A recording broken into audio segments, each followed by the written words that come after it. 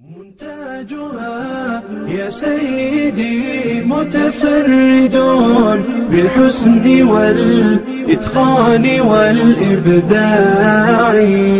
تصميمها رق وما بصماتها إلا مثالا يحتذيه الساعي. إلا مثالا يحتذيه الساعي.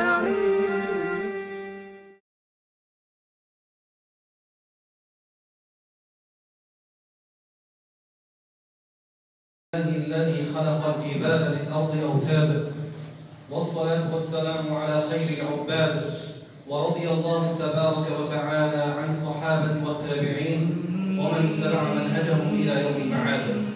إخواني الطلبة ما زلنا نحن وإياكم في حديث الأعمال اليسيرة بالأجور العظيمة.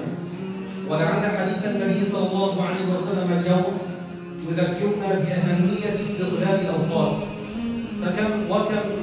للإنسان من أعمال يسيرة كتب الله له فيها أجورا عظيمة يقول النبي صلى الله عليه وسلم لأصحابه ألا أنبئكم بخير أعمالكم وأزكاها عند مليككم وخير لكم من إنفاق الذهب والورق وخير لكم من أن تلقوا عدوكم فتضربوا أعناقهم ويضربوا أعناقكم قالوا بلى يا رسول الله فقال عليه الصلاة والسلام ذكر إن ذكر الله تعالى هو خير ما يحتج به العبد يوم القيامة.